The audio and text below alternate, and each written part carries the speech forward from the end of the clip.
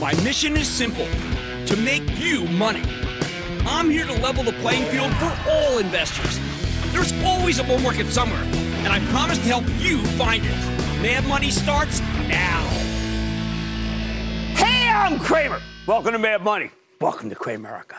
I've been with my friends trying to make some money. My job is not just to entertain you, but to educate and teach you. So call me at 1 800 743 CNBC or tweet me at Jim Cramer. Okay, there are two ways to approach this market. You can charge into the battleground stocks, the short squeezes, the rebellions, the storming of the GameStop and Tilray Gates, and of course the latest pack attack. Or you can stop, look around, observe, dig in, and try to make money, recognizing discretion is the better part of valor. After a tepid day where the Dow slipped 7 points, S&P advanced 0.17%, and Nasdaq gained 0.38%, I'm recommending the latter.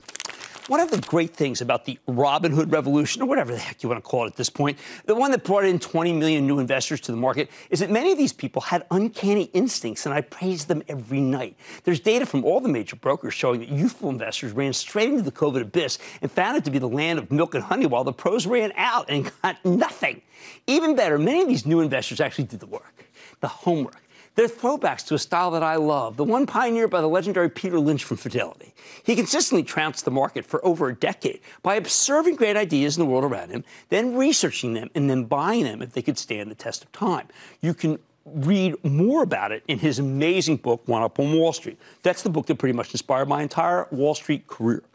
But after the dot com collapse, Lynch's approach did go out of style. The new conventional wisdom says it's impossible to consistently beat the market. You're a moron for even trying, so just put your money in a nice, low cost index fund. I think that's wrong. Although index funds are a great choice for lots of people, my view gets very little traction. I think you should own some stocks and an index fund.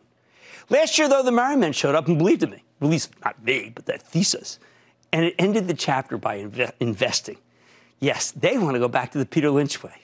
They observe the world around them. They do the homework and then they buy. So far, so good. I find them inspiring. I learn from them every day. But then something changed.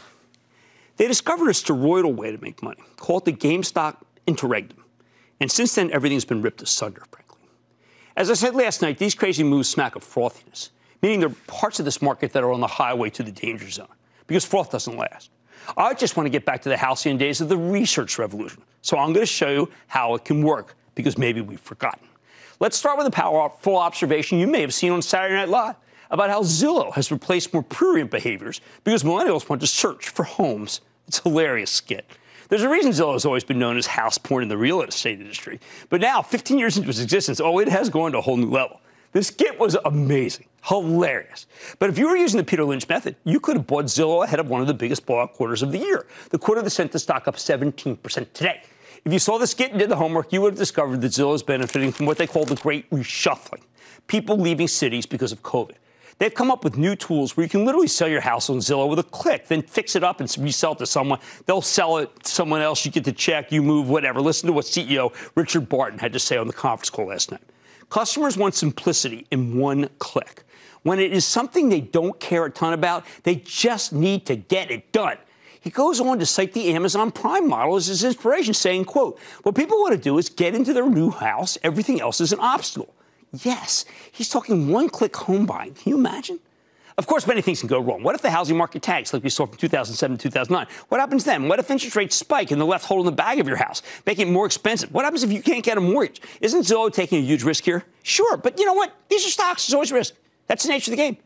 You probably won't want to own Zillow where the housing market slows down. It sure isn't right now. But for the moment, this is the hottest housing market in ages. Home values are appreciating double digits. The Fed's telling us they're going to keep rates low in order to generate job growth. To me, it sounds like the perfect time to own the Amazon of housing, and that's Zillow. Look, that's not an isolated example. I'm not cherry picking. The great reshuffling produces fabulous ideas every day. When you're in a hybrid workplace model, some days in the office, most days working remotely from home, you can make your office a heck of a lot better and more pleasant with Sonos speakers. Who doesn't want to listen, uh, go to the job, listen to the music they really love and a great sound system?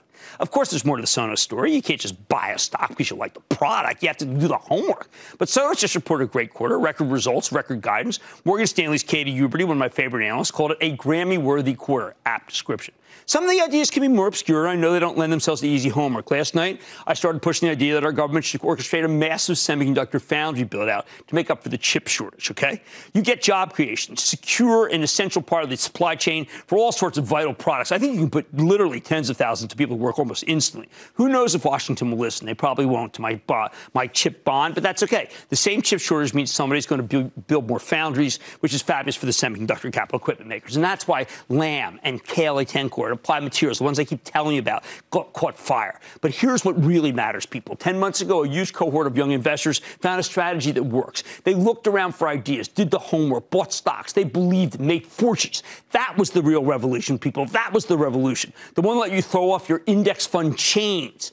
Now, though, many of these same people are looking for get rich quick gimmicks, short busting, running the pot stocks, run the, the celebrities' backs. These are incredibly short term bets with vertical moves that are going to blow up in your face, as anyone who bought GameStop in the triple digits can tell you. Here's the bottom line there are so many winners in this market that were absolutely gettable just by keeping your eyes open, your ears peeled, doing the homework, the methods that made you a killing. Go back to them. Ask yourself, do you really need to chase some bogus SPAC when SNL did a whole stint on Zillow this weekend and then the stock shot up 70%? I'm begging you, stick with what worked. Hit the next exit on the highway to the danger zone. Albert in Maryland, please. Albert. Hey, Jim. Uh, Dave & Buster's is almost back to pre-COVID levels, but I'm nervous that it recovered too fast. I bought in at $12. Should I stick with it or play that profit elsewhere? Um, I don't think it's a bad. You know, look, there's only the competitors to the Dave & Buster's. Frankly, didn't make it. That's what happened with COVID. So uh, the stock's up a lot, but I think you can go even higher because there's just not a lot of Dave & Buster's left. Not, I mean, the uh, their competitors. They're the last man standing. Mark in Ohio, please, Mark. We have recent a 52-week high, and the sheer amount of copper that goes inside electric vehicles. With recent upgrade from J.P. Morgan, the company's paying down its debt and it's reinstating its dividend. What's your view on the copper king? Well, I, I, do like it. It's had such a big move. And the one thing I really worry about is the Baltic Freight. Thank you, Matt Horween, my writing partner. Baltic Freight's been rolling over, rolling over, rolling over, but this thing is still holding up in there. I think you got to give this one a breather before you buy Freeport. I like the kid stays in the picture. Right? I want you to keep your eyes open. Do the homework like you were doing before the GameStop interregnum. It was working. Oh, On Mad Money tonight, Hormel just announced it's buying Planters in a $3 billion deal. Oh, is it totally nuts? I'm talking with the CEO. I like this one. Then with Valentine's Day just around the corner, I'm carrying Match Group to the newly minted Bumble to find out which company could have you finding love in the market. And it's doubleheader. I'm sitting down with the CEO and CFO of maybe the greatest financial story of our time, PayPal, after their investor day to find out what's ahead for the company. So stay with Cramer. Don't miss a second of Mad Money. Follow at Jim Cramer on Twitter. Have a question? Tweet Cramer. Hashtag mad tweets. Send Jim an email to madmoney at cnbc.com or give us a call at 1 800 743 CNBC. Miss something? Head to madmoney.cnbc.com.